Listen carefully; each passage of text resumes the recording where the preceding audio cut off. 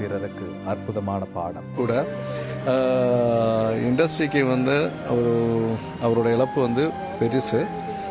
அது என்ன எந்த அளவுன்னு வந்து நம்ம சொல்ல முடியல. அந்த அளவுக்கு இது. அவர் தயாரிப்பாளர் சங்கத்துலேயும் வந்து ஈசி மெம்பராக இது பண்ணி நிறைய ஐடியாஸ் கொடுத்து ஒரு தயாரிப்பு ஒரு படங்களை வந்து எவ்வளோ சிக்கனமாகவும் தயாரிப்பா தயாரிப்பாளருக்கு எவ்வளோ ச- ஒரு அட்வான்டேஜாக இருக்கணுங்கிறத அவரோட நிறைய ஐடியாஸு வந்து கொடுத்துருக்காரு.